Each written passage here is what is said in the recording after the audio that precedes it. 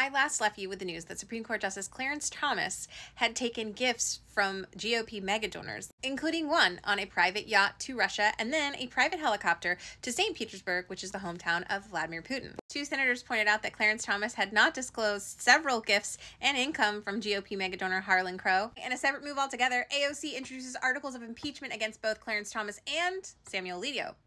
Alito.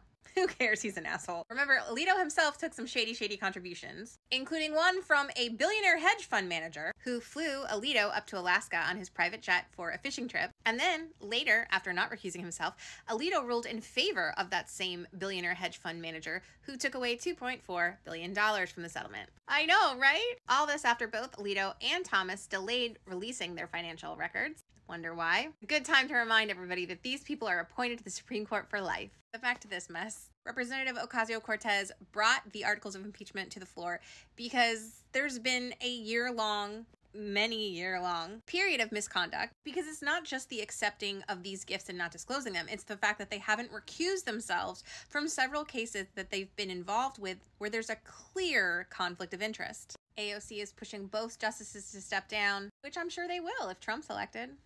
Back to Shark Week for me. See ya